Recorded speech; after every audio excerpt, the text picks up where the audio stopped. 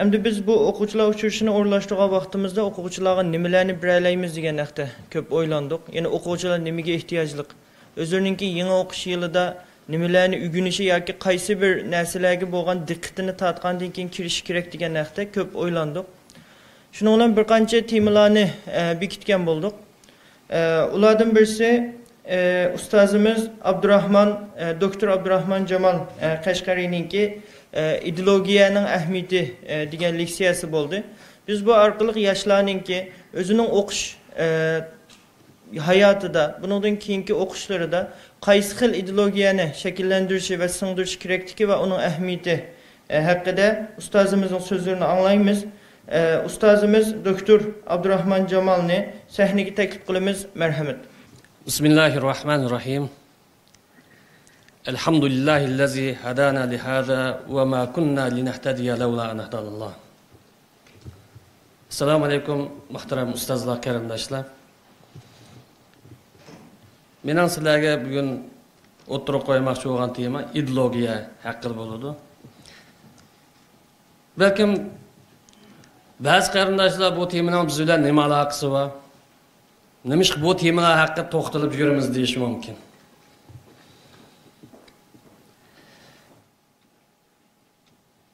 идеология бүгінгі уақытта біз үшін ең мойын болып жатқан ішлердің яғни аталғыларының бірі жығып айтқан уақытыда шарқ түркістан дәуасыныңки рухи саяси пәлсепсі, яки идеологиясы неме деген бұл темір жетіштік шуман бұл жерде идеологияның ке til jihatdagi atalg'u jihatdagi va faylasuflarniki buning qarta bergan izohat tushunchalar haqida ko'p to'xtalmayman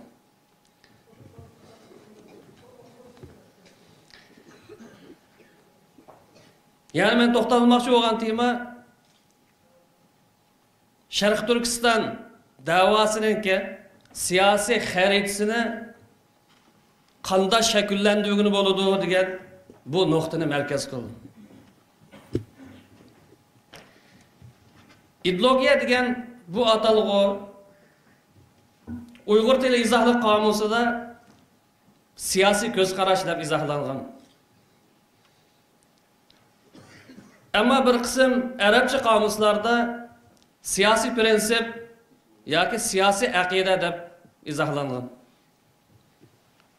Lekin bu so'z asli inglizchadan paydo bo'lgan so'z bo'lg'achqa g'arb faylasuflari hozir qadar ideologiyaniki atalg'usi va ideologiyaning tushunchasi haqida muayyan bir izohatga birlikka hozirgacha kelolmagan shunga bu atalg'uni tanishtirgan yozuvchi yoki faylasuflarga qarasak har birisidan tushunchasi o'zgacha farqli bo'lmoqda ideologiya sohasi to'xtalgan kitob hozir qadar damliq deb tanilgan andre Heliot ismli bir yozuvchi ideologiyaga tuvandagidek izohatlarni berdi ideologiya demak siyosiy aqida qurilmasi siyosiy ideya qurilmasi dunyo qarash siyosiy falsafa siyosiy aqim siyasi fikirler yığındısıdır. Ve onundan başka yani burmoç izahatları bu.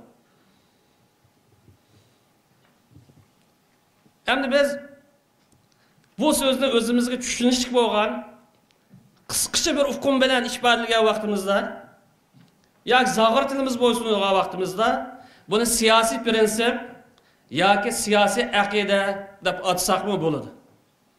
Şu an benim sözüm arasında siyasi prensip tilg'alinib qolib qolsa yoki siyosiy aqida tilg'alinib qolsa buningdan siyosiy ideologiyaning ko'z tutilganligiga diqqat qilsanglar bo'ladi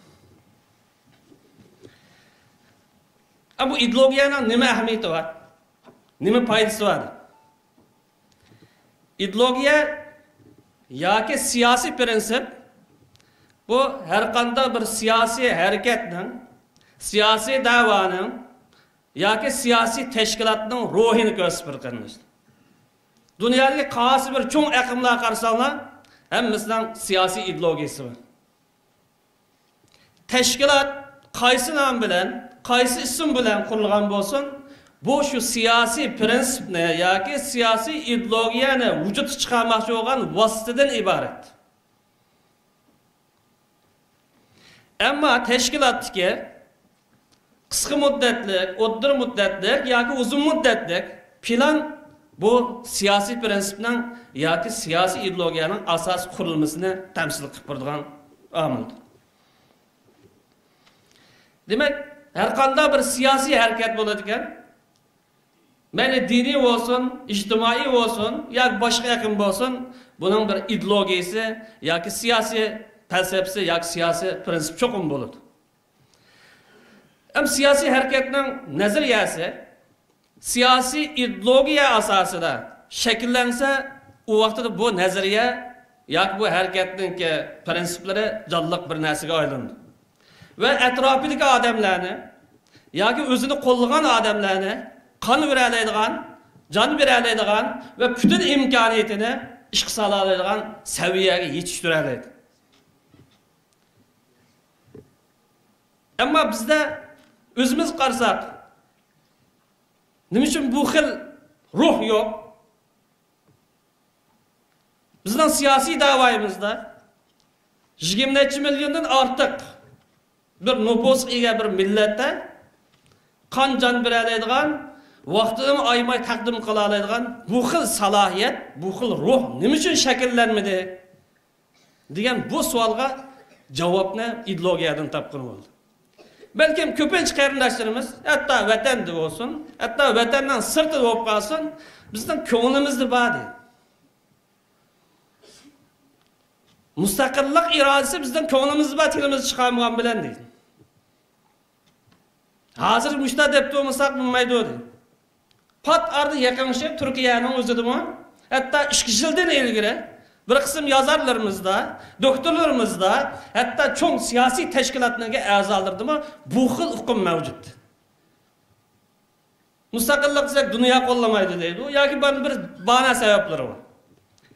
Demek özü kımmak şu olgan, özü vaktini bir vatkan, iktizadını bir vatkan, imkaniyetini bir vatkan bir hareketinin ideolojisine, ben bunda kadar, benim nişanım, gayem, kımmak şu olgan işine o'ttirg'i chiqarishga yoki e'lon qilish jur'at qilolmaslik bu ideologiyani shakllantirolmaydi ko'nglimizda bor to'g'ri lekin tilimiz yo'q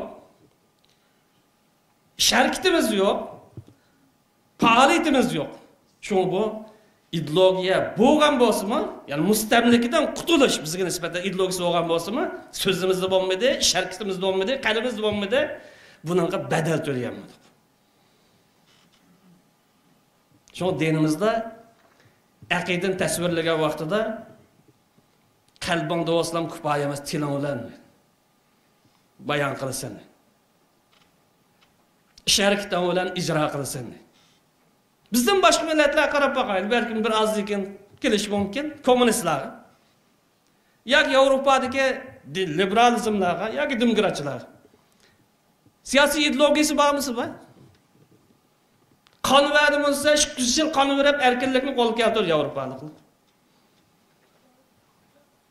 xitoy uzun safar nurg'un badallarni to'lab axir davlat qo'ydi bu malullar tilimizda desak bo'lmaydi yoki chiqib qolsa bo'lmaydimi badal to'ladi amiri ish harakati bilan ish barildi yozma maqolalarda falsafalar o'tirib qo'ydi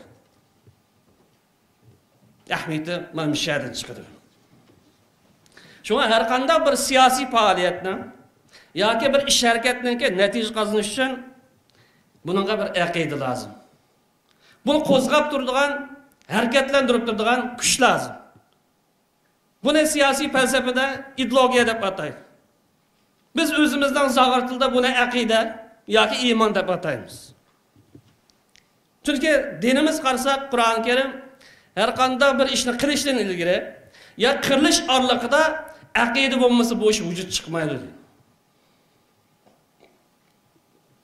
ishinib qo'ygan bilan ish hal bo'lmaydi ishinish bilan birlikda ish harakat lozim ham ish harakatning o'zida bo'lsa bo'lmaydi bunaqa ishini e'tiqod lozim shu ellikdan ko'p o'rinda aman va aminus solihat ish harakatdan bilan birga nima ish bo'lsin bunaqa aqida lozim bunaqa iymon lozim deydi şu işini başlaştı ilgili olsun. Yaki şu cereyanda olsun. Çokum bir yada bir akidini tiklash muhim. Buna asasen siyasi bir hareketten kandalı bir hareket olsun. Ruşen siyasi prensip bulmasa o hareket ya uzun kalmay yok oldu ya parçalandı ya ki tarih sahnesinde uçun. Bunun şahitlerini çetelde hali köp kördük. Eğer siyosiy harakat bo'lib uning siyosiy prinsipi yoki siyosiy ideologiyasi atrofidagi odamga ta'sir berolmasa atrofidagi odamlarni harakatlantirolmasa bu o'zimning masalasi e'tiqod masalam mavjudlik masalam kimlik masalam deydigan bu xil ruh ega qilolmay qolib qolsa ya'ni bu xil turdagi siyosiy tashkilot qaysi nom bilan o'tirib chiqqan bo'lsin umi natijaga erishaolmaydi shuningdek yana qarindoshlar bir eskartadigan nuqta. Sog'lom siyosiy ideologiya xaritasiga ega bo'lmay turib kunda bo'lmasam oyda bir qatam o'ttirib chiqayotgan buyuk nomli tashkilotlar bor. Ham bundakin ko'payishi mumkin.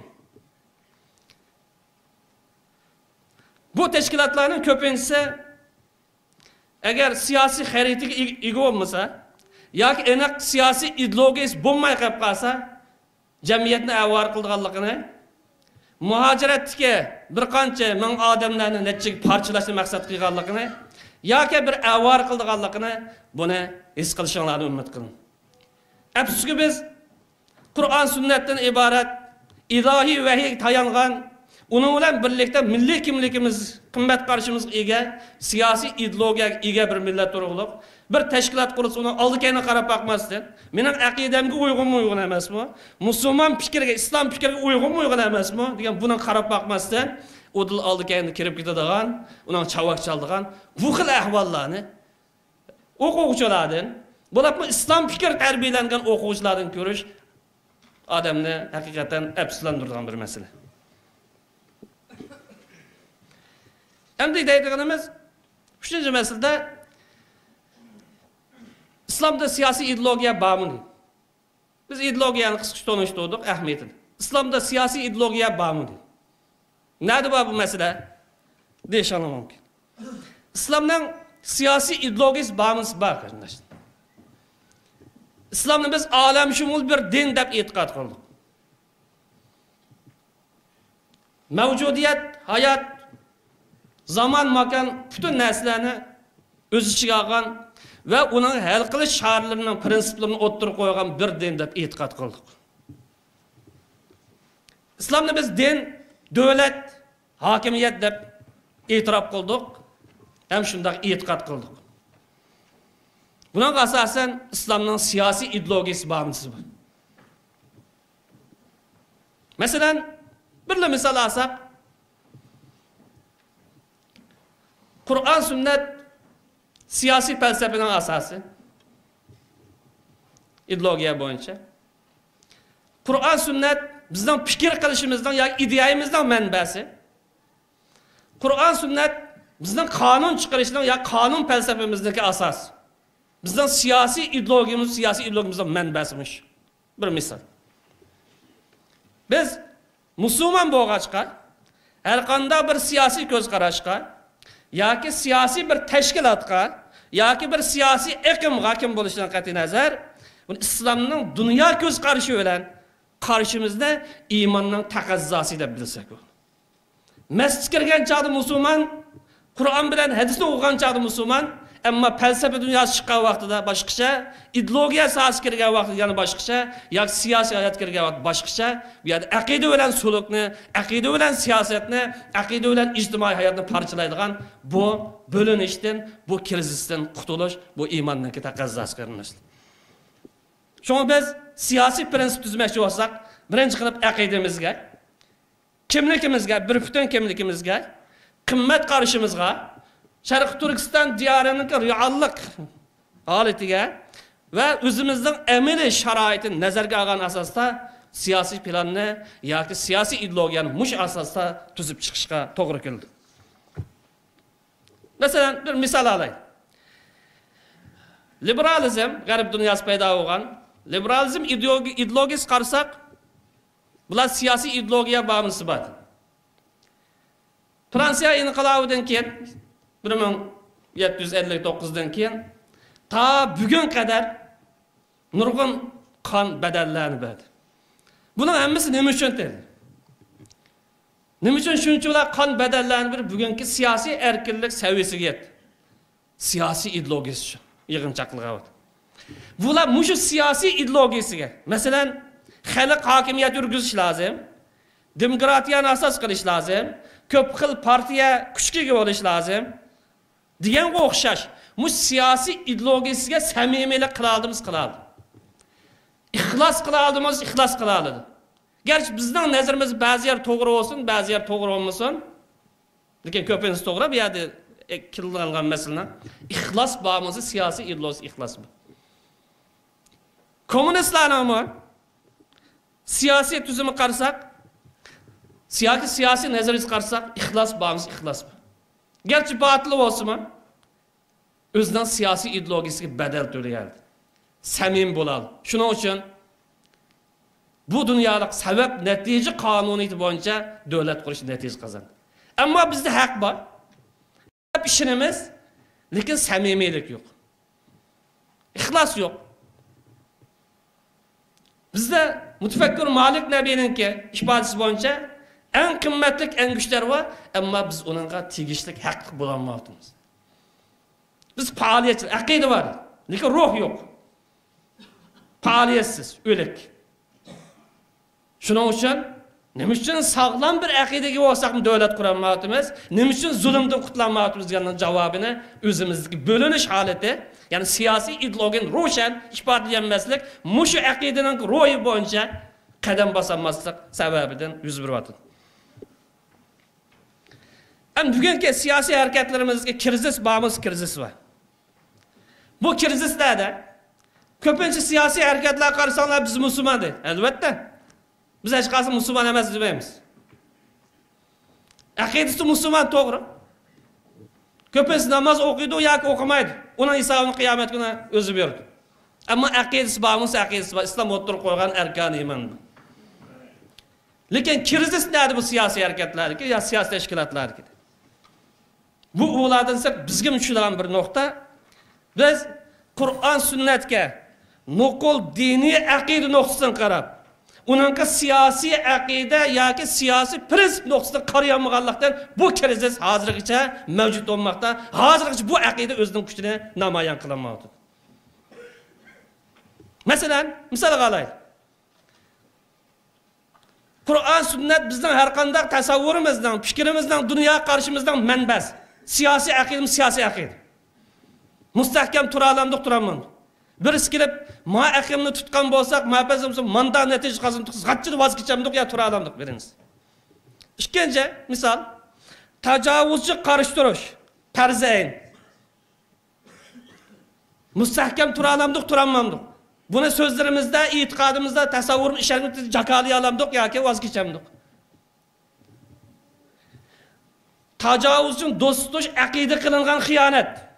Tevalla teberra akidesi bonç. Siyasi akidim siyasi akide demez mi? Siyasi akide. Bunun misalları köp. Demek biz akide fakat dini akide. Yani fakat yadlap koysak bolduğan, bilip koysak bolduğan, zihnimizge hep koysak bolduğan akidden iş. Ama bizden siyasi hayatımızda, siyasi felsefemizde, ya ki siyasi hareketimizde bunun işi yok. Din siyosatga aralashib bo'lmaydi aqidani iymonni aralashtirish bo'lmaydi degan bu xil passivlik bu xil krizis bizning siyosiy harakatlarimizni oldiga borolmaydigan yoki jonli qadam bosolmaydigan yoki o'zining mavjudligini isbotlayolmaydigan holatga keltirib qo'yadilar ism bak shun tashkilotdan soni ko'p ammo yuzda atrofida yuz erkak Bədəl töləyələyən, qaçan çağırıb qapqaz, mən təyələyən təşkilatdan nəticini tapqın oldu. Bunun cavabını üzanı soruşturub asanım oldu. Xoş. Əm bu siyasi ideologiya şuna mühimkin. Qanda oğa vaxtıda, qayıs şərtlər uyğun gəlgən çağda bunu siyasi ideologiya digini oldu. Buna bir qarab baxayım. E'tiqod usti qurilgan siyosiy prinsip o'zgarishni qabul qilmaydi qarindoshlar. Aqidaga usti qurilgan yuqorqidek allohning do'stlarini do'st tutish dushmanlarni dushman tutish yoki tajovuzchilarni dushman tutish degan bu aqida har qanday vaqtda o'zgarmaydi. Tajovuzchi mavjud zolim mavjud bu aqidani bu siyosiy prinsipni o'zgartishga bo'lmaydi. Ammo keskin shar'iy hujjatga shar'iy dalil tayanmagan siyosiy prinsip bo'lsa yoki zamon makonniki taqazzosi qarta shakllangan siyosiy prinsip bo'lsa bu cho'ng manfaatlar qarta o'zgarishi mumkin. Masalan bayroqni misol qilaylik bu o'ttiz uchdan tartib qirq to'rt qadar hozir qadar sharqi turkiston xalqining mustaqil bir millat ekanligi xitoylar zodi o'xshamaydiganligini ayrim bir davlat qurgan saltanatlik bir millat ekanligining simvoli sifatida biz havran bayroqni qo'llanib kelyapmiz. Bu bayroqni qo'llanish qur'on sunnat hujjat bormi hujjat yo'q.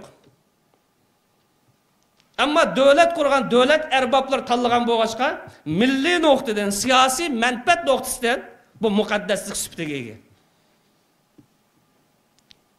Biz hozir mustaqil odam tuq mustaqil davlat edik degani uchun buni misol ko'rsatyapmiz shu bunida o'zgartishga hozirgi sharoit bo'lmaydi ammo davlatni qurib bo'lgandan keyin qaraxonlarning bayrog'ini asli keltiraylik deb qarasak durustmi durust emasmi durust chunki bu qur'on sunnat usti qurilgan siyosiy prinsip emas siyosiy manfaat usti qurilgan yoki milliy e, falsafa usti qurilgan bo'lg'achqa u vaqtda durust buni o'zi yana ba'zan deyish mumkin siyosat deganda davomliq muqimliq yo'q deydi eng cho'ng xato gapning birisi shu. Bugungi siyosiy davo sabidagi odamnikida siyosatda muqimliq bo'lmaydi. Siyosatni tushungan bo'z buni demaydi siyosatninki falsafasi va siyosiy ideologiyasi va buni o'zgarishi bo'lmaydi. Ammo siyosatning vositalari taktikalari zamonninki siyosatning soat bo'yicha o'zgaradigan atrofdagi masala va u yerda o'zgaramiz. Buni biz mutag'ayyirat deb ataymiz. Lekin onramkini o'zgaraversak aqidani o'zgaraversak ruhimizni o'zgaraversak bu siyosat siyosat bo'lmaydi bor bilan yo'qning orasida bormikin tashkilot bor bormikin esa falsafa bor lekin kuchi yo'q bir narsaga aylanib qolishi man mayadi mustahkam deydigan ruh ega bo'lolmaganligi uchun mushtavob qoladi shunga savobi deb qaralgan yo aqidamizdan kelgan buni hech qanday jon kessin boshqa narsa kessin midirlamaymiz. U vaqtda siyosiy ideologiya bo'ladi. Vatandan voz kechamdiq jon kesib vatanni qurbon jonimizni qurbon qilamiz. Bu yerda o'zgarish yo'q siyosiy manfaat kelsin yoki biznes kelsin so'ng o'zgaradigan o'zgarmaydigan nuqtani bilish bu bak muhim. Shu siyosat davomli o'zgarib turadigan u siyosiy falsafaniki asosi emas yoki siyosatni tusha to'liq to'liq tushunmagan odamlarning masalasi. İkkinchi masala ikkinchi sharti e, siyosiy prinsip murassachilik yoki sulhiy saloh qabul qilmaydigan darajada keskin bo'lishi lozim bugun siyosiy falsafa yoki siyosiy prinsiplar biznes bo'lsa ikki yildan keyin biz chiqib bilan o'zgartiraman desa buni foyda keldigan deb ketib qolsak xatolashamiz payg'ambarimiz qarasak payg'ambarimizni makka kofirlari kontrol qilolmagan vaqtida podshohlik bilan mansab bilan pul bilan yoki huquq bilan asla davosini voz kechish o'rin. Payg'ambarimiz nima dedi? Vallahi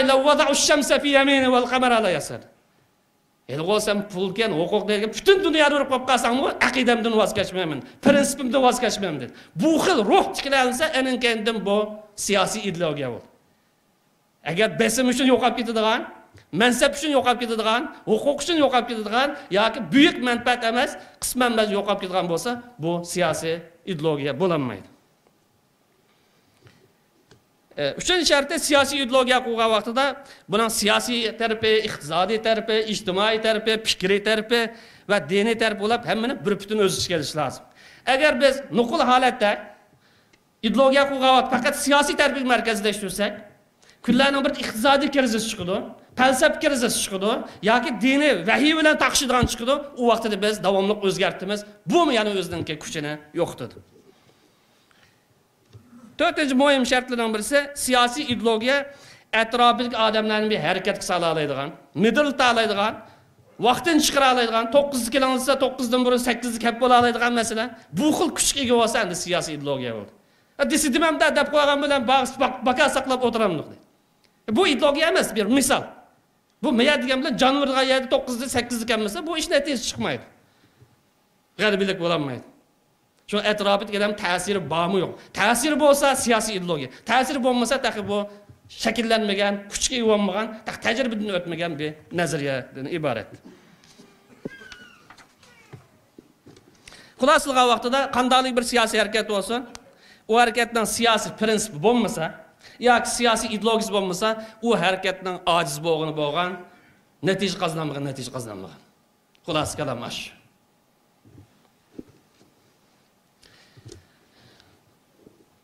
Дәмді біз ноқтымызға әмді келдіқ, вақыт қаншылай қылды екен.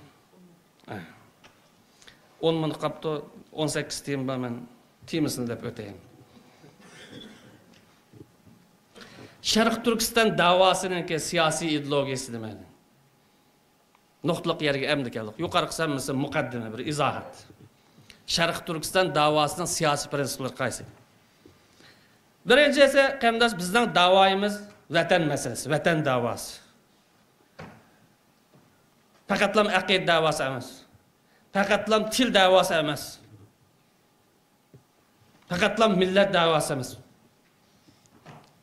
Bir bütün kimlik davası, toprak davası. Buna ilgili köp toxtalğan boğaç vaxt itibariyle ötüp geteyim. İkincisi bizden davayımız kimlik davası kardeşler. Şarkı Türkistan xalqininki kimligini omillari bir qarab boqaylik bizda kimlik omillari til irq din tarix madaniyat qimmat qarash jug'rofiya ya'ni vatan va siyosiy ideologiyadan iborat sakkiz turli omildan shakllanadi. Bu bizning kimligimizni shakllantirgan bir butun bir birisidan aylanolmaydigan bir butun kimlikniki simvol bunaqa asosan bizning kimligimiz til jihatdan uyg'ur tili etnik jihatdan turk millati e'tiqod jihatdan islom dini madaniyat jihatdan islom va uyg'ur madaniyatining birlashmasi shakllangan afsuski bugungi kunlikda bizni kimligimiz taraf tarafdan hujum qildigan tanqidlaydigan haqorat qildigan hatto bizdan dindan chiqib ketib xristian bo'lishga hatto ba'zi bir noahllarni ifodasi bo'yicha buddist bo'lsak mayli deydigan g'alita kimlikdan voz kechib boshqa bir maqsadga tashabbus qilgan ahvollarga duch kelyapmiz biz bunaqa asosan deymizki bu kimlik masalasida qaysi bir kishi bo'lsin qanday bir tashkilot bo'lsin yo qanday bir aqm bo'lishidan qat'iy nazar sharq turkistonliklarning kimligiligi yuqorqi sakkiz turlik omildan qaysi biri tajovuz qilsa yoki uning haqorat qilib qolib qolsa butun sharq turkiston haqorat qilgan tajovuz qilgan bo'ldi deb buni kesib deymiz. Ham har birlari mushkil e'tiqod bo'yicha yo mushkil idloga kelishlarini umid qilamiz. Mana bu orqali kimligimizga undan ega bo'laveramiz uchinchi sharq turkiston prinsipidagi uchinchi masala sharq turkiston davosini aqidasi bu bu so'rin bo'lmaganda boshqa o'rinlarda jiq yuz berdi talash tashlarda qaysi ideologiya bo'yicha vatanni ozod qilsak bo'ladi? Yoki qaysi aqida bo'yicha bu vatanni ozod qilish yo'lini topib chiqqan bo'ladi? Degan gap boshqa so'rinlarda ko'proq yuz berdi. Shunga ba'zidanki xristian bo'lsak yevropa bizni qutqizib qo'ydi deyishlari ba'zidan buddist bo'lgan bo'lsa xitoy bizga uncha zulm qilib ketmaydi deyishlari ba'zidan yana bir narsa deb bildirlashlarini u yerda bu yerda uchirtib qolishimizdan sababi shu. Hatto ba'zilarniki musulmon bo'lganligimiz uchun xafalık mishadan keldi. Butun xafalıkdan manbasi musulmonlar chiqib kelsak hatto burunqi uyg'ur davlatiga qaytib uyg'ur bo'lgan bo'lsak endi chiqib ketib shamon diniga qutulib qolishimiz deydigan u xil odamlarmi? Jamiyatda yo'q emasmi?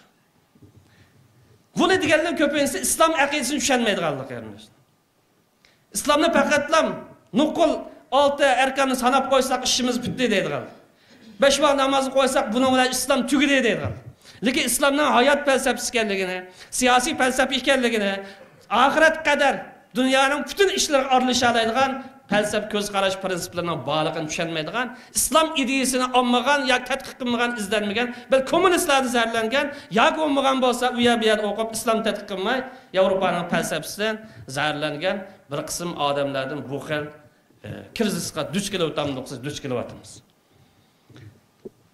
bizga ozodlik yo'li yo qutulish yo'li islomdan keladi deb buni kesib ayta olamiz. Bizning bugungi mahkumlik tushib qolishimizning sababi islom aqidasi emas. O'zimizning abgoligi qo'pol tilab aytgan vaqtida. Islom aqidasiga samimiy bo'lolmasligimiz aqida nada bo'lsa kitobda bor deb ammo jamiyat tadbiqlaganligimiz tadbiqlayolmaganligimiz siyosiy birlikni qo'g'danglar davlat bilan islomning prinsip ijro qiling degan bu dinning buyrug'i amal qilmaganlikni abgorlik o'zimizdir. Lekin aqida emas shunga deymizki islom aqidasiga samimiy e'tiqod qilgan samimiy ishongan har bir musulmon vatanning ozodligi uchun turli usullar orqali har xil vositalar orqali kurash qilishni yoki jihod qilishni qalbidagi sharaf medali va muqaddas iymoniy mas'uliyat deb qaraydi. Bu samimiy musulmonniki vataniga qarta millatiga qarta ifodasi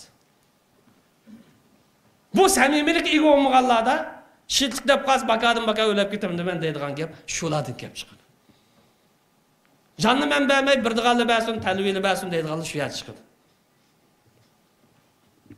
shunga biz vatanimizni qutqizimiz yoki chiqish yo'liga ega bo'lamiz deydi ekanmiz islom aqidasini asos qilish lozim islom aqidasi bormi bor bizda lekin har birimiz so'rab boqadi yuqorida misolga ilingan har qanday bir tasavvurning har qanday bir fikrning har qanday bir tashkilotning hatto davlatninki asosi qur'on sunnatning vayisidan kelgan bo'lishi lozim deydigan bu siyosiy ideologiya qanchalik mustahkam tura olamiz yoki meyan ozroq qistirib o'tib ketadi deydigan ya bam qalbimizdan so'rab baqsak bo'ldi aqida bizni jonliqmikan yoki o'lakmikan yoki uxlab qolibdimi bizda bor lekin faoliyat yo'q harakatchan emas. O'zimizga o'xshash tushkunlashib qolgan bizdan tushkunlashimiz aqidimizdan tushkunlashganligidan keladi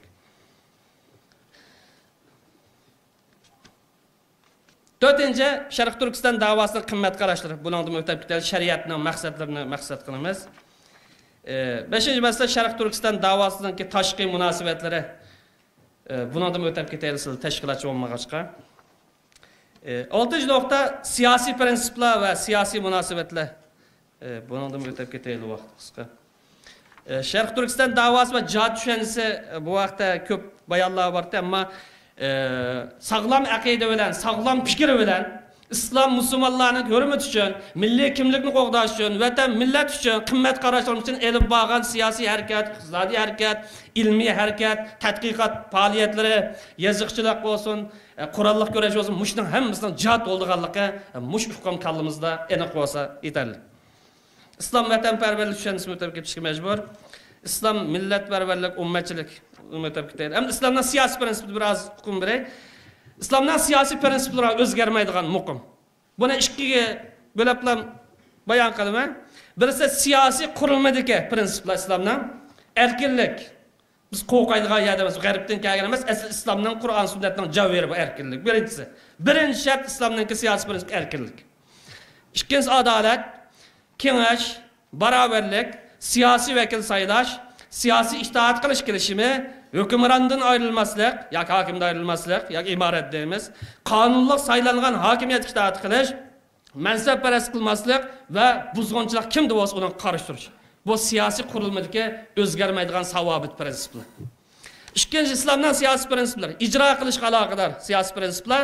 Qur'on sunnatni manba qilish ko'p sonliqdan fikrni ilish g'arbdan kelgan falsafa emas islomda bor. Zolimga yo'l qo'ymaslik xalqning mol mulkini qo'g'dash xiyanət parxorluq qarışdırış, siyasi əxlaqi cəhətdən layiqət oluş hakimlərinin, ilmi cəhətdən qabiliyyətli oluş, siyasi hikmət egi oluş, qararını kinaş əsas çıxırış, hökmran və puxram oxşaş nəsihət qilish, xalqqa ko'yinish boshqalarni diniga islom kelishga majburlamaslik va ummatning siyosiy birligi cho'ntirish qatorliqlar bumi qur'on sunnatdan hujjatlarga tayangan o'zgarmaydigan siyosiy prinsip bu o'ttiz bir tafsili qilgan chog'da buni yakunlagan chog'da o'n sakkiz bu har qanday onaramka qur'on sunnatdan bu o'zgarmas o'zgarmaydi. Ammo uningdan boshqa siyosatning mutlaq ko'p qismi masolih deymiz manfaat ustiga shakllangan bo'lg'achqa bu yerdan o'zgardi. Manfaat usti qurilgan siyosiy harakat siyosiy e, ishlar o'zgardi lekin man hujjat usti qilgan o'n sakkiz xulosam buni ustiga qilgan bu o'zgarmaydi. Bu yerda siyosiy ideologiyada emas mustahkam turibmiz e, o'n birinchi temada to'xtalamiz. Islom va davlat munosabati. Davlat bormi yo'qmi yoki davlatni kim boshquz bo'laveramiz biz faqatlam besh kishilik bir fuqarolar besh vaqt namozini o'g'ini qo'ysa kommunist kelib boshqaramdi liberalizm boshqaramdi yoki yana birisi boshqaramdi qarimiz yo'qmi? Bunaqa bir qarab boqaylik. Qarindoshlarimiz islom ideyasida dini bilan siyosat yoki dini bilan davlat hukmi bir biridan ayrildigan ishimiz din boshqa siyosat boshqa davlat boshqa unday ish mavjud emas islomda agar xato tushungan bo'lsak kallamizni qaytadan yuvsak bo'ldi biz. Qur'on sunnat bunda gap yo'q chunki siyosat islomning xarakteri va dinimizdagi prinsipal o'zgarmas asos islomdagi davlat siyosiy prinsipni asos qildigan haq huquq adolat erkinlik va hidoyatni asos qilgan madaniy davlat. Shunga islomni qanday davlat deymiz degan bu masalada ba'zilar diniy davlat deymiz yana ba'zilar boshqa ish deymiz deydigan talash tortishlarmi e, bu falsafachilar orasida yozarmanlar orasida xilif ko'p. Xulosa vaqtida biz yuqorqi qonun manbasini asos qilgan madaniy davlat deb ifodalaymiz yo xulosalab islom davlati desak bo'ldi. Ammo bugungi vaqt bir oz asosiyat bo'lg'achqa bu ismni ishlatmay madaniy davlat deyapmiz madaniy davlat qanday bo'lganini qaraylik madaniy davlatni olimlarimiz tanishtirib jamiyatning irodasi vakillik qila oladigan qonunni asos qiladigan ko'p partiyalik bo'lishini yo'lga qo'yadigan kang qo'saq bo'lishni asos qilgan huquq majburiyat hammasi barobar bo'lgan vatandoshlikni qabul qildigan hokimiyat tinch shaklda o'zgarib turadigan bu davlatni madaniy davlat deymiz bu prinsiplar islomda bor bo'lsa islomda bor tarixida shakllangan bo'lsa tarixida shakllangan shu islomdagi davlat g'arbga o'xshash teokratiyadir. Ya'ni ilohiy hokimiyat davlati emas islomda ya'ni qilgan hokimlarni qilgan ishlarimiz muqaddas to'n kiygizgan hamma ish to'g'ri bo'lib ketgan xalifalar bo'lsin sultonlar undaqa xalifa bo'lib qolsin to'g'ri ish qilib to'xta deyoladigan bunday bir davlat yoki yangi zamon shakllanayotgan sekularizm davlati bundan davlat emas balki qur'on sunnatdan iborat ilohiy vahiyga tayindigan madaniy demokratiya davlati hozir kim bo'lsa deyapmiz qur'on sunnat manba qil ismda mo'yin emas maqosid bizga mo'yin pensepede, siyasi prinsipte Kur'an sünnetlerini bunu medeni edip atam, demokrat edip, o cumhuriyet edip atamdı. Hatta 33. ağlamımız işkilenmeyen halette bugünkü dünyanın vaziyeti cumhuriyetli kurulur. Biz mi cumhuriyetli kuraylı dedik. Lekin Kur'an sünnet mənbə qıl kitabat. Şo İslam dövləti deyələyimiz. Şo isim də emas, bunun maqasid qarayımız. Şo İslamdakı dövlət g'arbda bo'lgandek hakimiyet yürgüsdə haq ilohlik haq davosini da'vo qilgan bunda dövlətimiz islomning siyosiy prinsipida igilik huquqi qur'on sunnatga mansub qarindoshlar hukmronlik huquqi xalqqa mansub hokimga emas. Xalq saylaydi to'g'ri topsa tur to'g'ri topmasa yo'q qiladi xalq hokimiyatning asosi bu g'arbning falsafasi emas islomda bormiz islomda bor hokim xalqning vakili muqaddas emas. Halol harom deb belgilash huquqi ilohiy vahiga tava ammo hokim saylash hokim nazorat qilish zo'r tepilib qolsa huquqni ep tashlash bu xalqning huquqi. O'shki ikkinchi masala islom demokratiya xulosalaydi biz islom e'tiqodiga e'tiqod qilgan musulmon bir millat bo'lganligimiz uchun dunyo qarashlarimizda islom ko'rsatmalarini olamiz. Bu iymonimizning taqozosi biz boshqa ellarni ya'ni musulmon emas boshqa dunyoning islomning aqidasi islomning prinsiplari va qimmat qarashga zid kelmaydigan har turli siyosiy tajribalardan masalan hokim almashtirish parlament shakllantirish kengashni qanday olib berish deganga o'xshash bu vosita usul choralardan foydalansak bo'ldi bir shart aqida zid bo'lsa siyosiy prinsiplarga qimmat qarashlariga zid bo'lsa biz demokratiyaning qonun chiqarish huquqi mutlaq xalqqa mansub deydigan bu tarafini olmaymiz qonun chiqarish huquqi bizda qur'on sunnatga mansub Şundan iqtisod degan halol harom yo'q pul topsa bo'ldi deydigan bu tarafini olmaymiz. Halol haromning qoidasi bor bizda. Shundan shaxsiy erkinlik xohlaganini qilsang bo'ldi deydigan tarafini olmaymiz. Erkinlik bor, mas'uliyatga bog'langan deydi. Asosiy uch tarafi bizga bo'lmaydi. Demokratiyaning burunqi ma'nisi kitoblarda bizga tarjim qilingan Uyg'urcha boshqa. Burunqi ma'nisi xalqning o'zini o'zi idora qilish bo'lgan bo'lsa, bugungi 21-asrdagi, ya'ni 2020 ufqimi biroz o'zgargan. Demokratiya burunqi ma'nisi yo'qdi, bugun siyosiy erkinlikni markazlashtirmoqda. Iqtisod erkinlik bilan siyosiy erkinlik. Biz iqtisodiy erkinlik halol harom bilan bog'laymiz. Iqtisodiy erkinlikni markaz qilmoqda, siyosiy erkinlik. Siyosiy erkinlik demak, hokimiyat tinch yo'li bilan o'tkazib berish, fuqarolarning davlat ishlarini idora qilish, qatnash huquqining bo'lishi, ko'p partiyalikni yo'l qo'yish va hukmron bo'lgan kishilarni saylab chiqish demakdir. Bugungi demokratiyaniki moiti mush atrof cho'kilmoqda. Biz xulosaga vaqtida islomni demokratiyaga selishtirib o'tasak yoki islomni demokratiyaga zid bir butun chiqisholmaydi deb qarasak, dinimiz zulm qilgan bo'lamiz. Ya'ni islomni demokratiyaga yo butun qarshi qilib qo'ysa yoki hammani qabul qiladi demokratiya islomni deb da'vo qilsak u vaqt dinimizga zulm qilgan bo'lamiz chunki insonlarning aqidasi ibodat axloqlari va ijtimoiy aloq rad qilish uchun kelgan ilohiy vahiy bo'lgan islom bilan demokratiyadan iborat insonlarning siyosiy tajribasini tang o'rin qo'yish yo ikkisini selishtirish tub yiltizdan xato. Bu ilohiy vahiy u siyosiy tajriba. Burun kapitalizm bo'lgan kapitalizmdan demokratiya shakllandi liberalizm orqali. Ya'ni yigirma yildan keyin qaytib birsa bu o'lab tugab yana biz kirishi mumkin. Ammo ilohiy tugab yo'qolib ketmaydi. Shuningdek islom bilan demokratiyani orasida zidlik yo'q hamma yerdan kelishib ketish bu xato? Shunga xulosa vaqtida biz demokratiyani falsafasini qabul qilmay uniki vosita chora taktikalardan e, foydalansak bo'lamdi desa bu yerda bo'ladi. Vaqt to'sh munosabati bilan ismini deb tugatay e, o'n uchinchi islom va kishilik huquq munosabati borda siyosiy ideologiyamizda uni demdik endi islom erkinlik munosabati o'n to'rt o'n besh islom bilan aqlning munosabati o'n olti islom ilm ma'rifat munosabati vaqt munosabati bilan e, mishada so'zim to'xtay. Hammanglarga rahmat va alhamdulillahi robbil alamin.